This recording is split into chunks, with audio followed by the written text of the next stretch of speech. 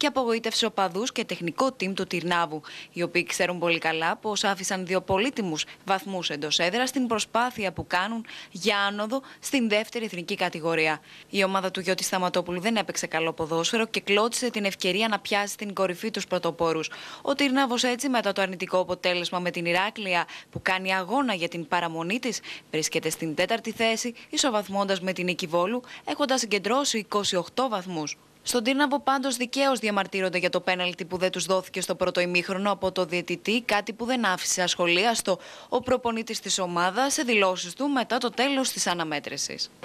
Πιέσαμε, προσπαθήσαμε να πιέσουμε ψηλά με το αποτέλεσμα που και ο αντίπαλος βγήκε δύο φορές τουλάχιστον πάρα πολύ επικίνδυνα στην κόντρα και εκεί ο, ευτυχώς ο Πέτρος ο Καραναστάσης μας ε, γλίτωσε δύο φορές ε, θα έλεγα, μας κράτησε μέσα στο παιχνίδι. πιστεύω μια καθοριστική φάση ε, του αγώνα ήταν στο, γύρω στο 30-35 που κατά την άποψή μου ε, δεν μας δόθηκε ένα καθαρό πέναλτι που ο αντίπαλος καθαρά διώχνει την μπάλα με το χέρι μέσα στη μεγάλη περιοχή